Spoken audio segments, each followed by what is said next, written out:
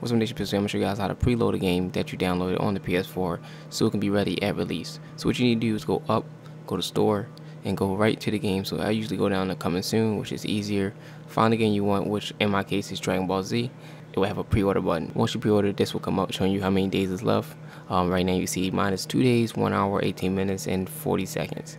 What you need to do is make sure auto download is checked. and You can see that I'll be able to download this game on the 22nd of February. And that's pretty much it guys. Make sure your PS4 is on standby. So, you know, at 12 o'clock, I'll have it on standby. And by the time I wake up, it should be downloaded. Now, my connection isn't the best. That's why I really love preload. I think preload is a really good feature. So let me know comment below if you guys do pre-order your games on the PS4 and do you love preload. Alright guys, that's pretty much it. See you later. Peace.